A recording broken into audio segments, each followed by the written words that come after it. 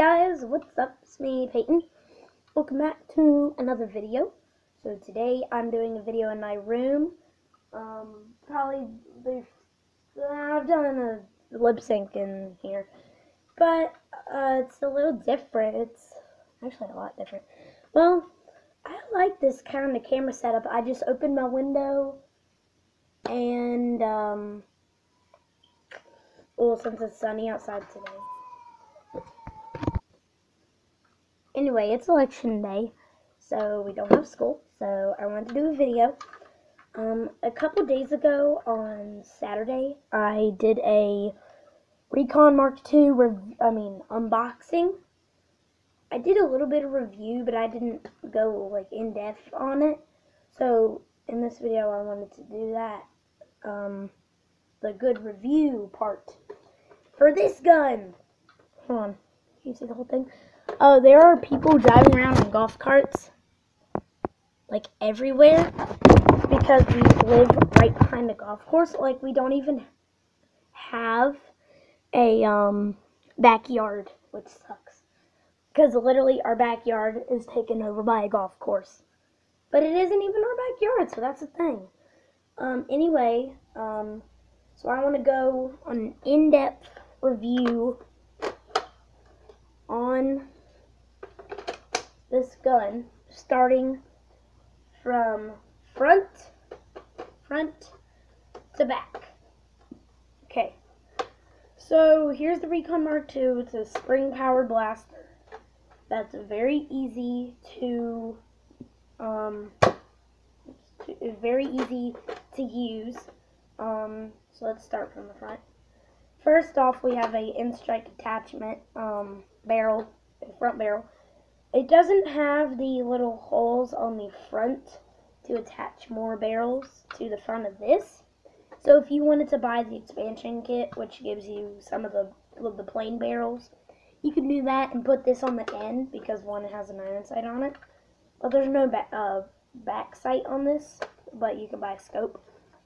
Um, so there's a tactical rail on the bottom of this. Can you see it? Wait. Eh, yeah, you can now. Okay. So, yeah, we're done with that. Here's the actual blaster, which is pretty cool. I like the color. I like the gray, the orange, and the white uh, everywhere. I mean, gray, or gray, orange, white. Yeah, that's what I meant. I want like gray, orange, white. I just completely mixed up the colors. Anyway, I like the color. Um, so it, yes, it does have an attachment nozzle in the front right here. Um, here's how you prime the blaster. You you pull this thing back. Also, there's a tactical around the top. You pull it back. There's a jam door to clear all your necessary jams. Yeah, I've darts loaded. I just shot one at the beginning of the video. Um, anyway, when you have this pulled back, um, you strike the magazine release, or it's, it's on this side too. I like to hit it on this side, and out pops the six round, six dart magazine, which you insert all six darts in, and when you're done, you keep that open, and you slide it in the correct way, like that, and then you pull it forward. Mine jams a lot, but yours probably won't. Because when I pull it back forward, it kind of, it just doesn't go all the way forward. So you have to kind of shake it to let it go all the way forward. Um, next is the tactical rail right here. There is not one on the other side, which is dumb. That would be cool if there, you could have like two flashlights or two of the machete things, the chainsaws. Um, next is the uh, mag release button. This is in a very comfortable place. So when you're out of darts, you can just do this and then pop it out with your finger. I mean, I'm I even have small hands, and I can do that because it's so close to the um, trigger and the grip. So, okay, move on. Moving on. You have a the trigger right here, which is pretty nice trigger. I have a dart loaded, that's why I'm not pulling it all the way. Because you can pull it in You can pull it in, like up to there. But if you pull it anymore, it would fire. Next, moving on is the grip. A very weird grip. It's actually kind of comfortable, and um, you can kind of, if you want, you can make this like a, a handle if you want. So you could just like go, yeah, like that. Um, moving on, there's nothing really right here. This is just more mechanism. Uh, lanyard mount or sling mount right there. Here's the um, the stock, which you press these two little levers down. Oh, one on this side. It's it's ambidextrous too, just like the mag release button. If you press one, the other one will go down too. So, uh, that off. Next, you have the um, the stock attachment point, which of which allows mo most of the um, of the Nerf stocks, which is pretty cool. Um, the Recon Mark II stock is really really short, which is kind of annoying, but I mean it doesn't hurt. It looks cooler with the stock because it's like you have a pistol and then you put on the stock and it's like haha suckers. Anyway, this is like the smallest gun I could find with a, uh, with a clip, which is cool. I mean, the Stryfe, of course, but that's battery powered. It takes like 3 AA. Anyway, moving on to the stock. Stock's pretty cool. Um, you got a pretty smooth part right here. Um, even though it's it's kind of too smooth that when you're trying to aim, it might like slide up like that or down like that, which is kind of annoying considering it stays onto the blaster pretty well. So it would go like this. I think I might like mess up your shooting. I have a really uh, rough shirt on right now, so it might not slip as much.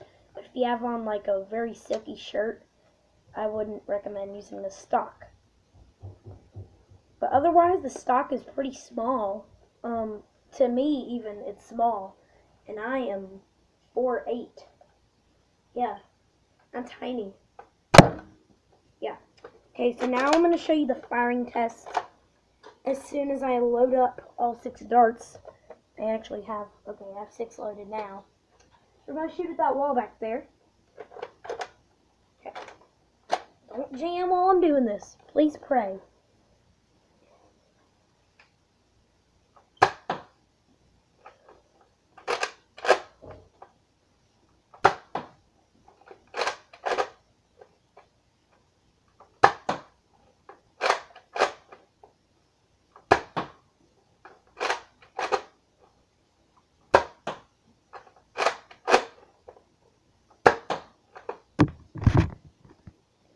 The gun actually comes with six of these, but I only use two of them because they're the only two that I have that are actually, you know, like working. Because the others are like the the cheapo darts. But I do have all six of them. It's not like I threw them all away. I just think it's pretty cool. You can like, I don't know, mix match them. If that makes any sense. I don't know, make a pattern if you want to, there's really no point in doing that because you probably won't be doing this in a Nerf war. Just holding them like this. Unless, like, a really secret way or fast way to reload it, you can just go.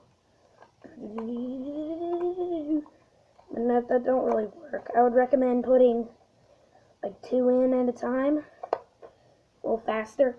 But if you have, like, a 35 round drum, like, for the Rampage or something, yeah, that's going to be kind of bad. This thing does not have slam fire, so you can't hold down the trigger and do that. Or, you know, do that. Which sucks. But I probably won't be using this gun Nerf war. Probably right now I probably would. I don't know. I, I really don't know. So right now this is my topic for Nerf war because one, it holds... It does not hold the most bullets because my protector does. The one that's slam firing, it doesn't have a trigger. The Air Warriors one and they they have good darts. So I'd probably use that in the Recon, and the Magnus, and the Triad probably. And for some reason, I don't like the Big Shot, even though it does shoot hard. It doesn't shoot three like the Magnus.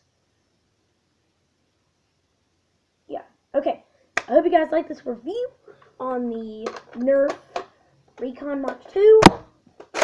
And I will see you all in the next video. Bye!